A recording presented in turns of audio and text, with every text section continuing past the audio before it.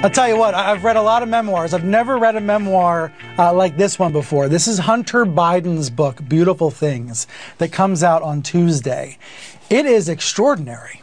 You know, you've heard about Hunter Biden over the years. You've heard all the tabloid coverage of Hunter Biden. You think you know his story. We know that right wing media is obsessed with him, Fox News always uh, targeting him. And there are real questions to ask, including about that laptop uh, that CBS uh, is probing, uh, that CBS asked Biden about in an interview that's airing uh, today and airing again tomorrow.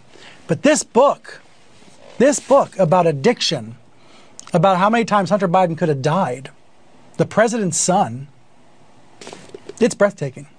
So let's talk about it with Kate Bennett. Uh, she's also read a copy. She's a CNN White House correspondent.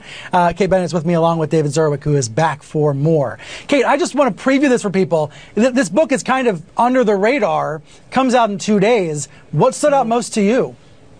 Well, I think it's just what you said the, the depth and scope of Hunter Biden's addiction and the honesty with which he discusses it. I mean, this was a man who had a serious crack cocaine addiction as well as a serious alcohol problem.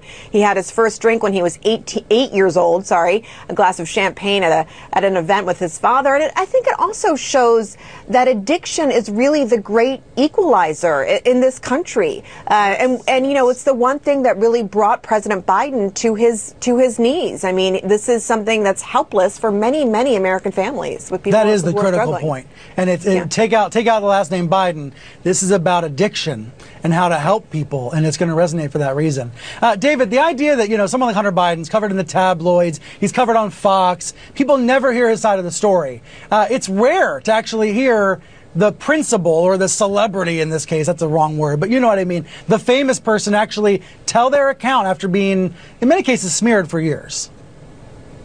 Also, yes, and also to tell it so well, to tell it as a journey. Um, you know, uh, I don't want to call it a hero quest, but it's the kind of thing Carl Jung, Jungian journey. It's powerful. It's profound.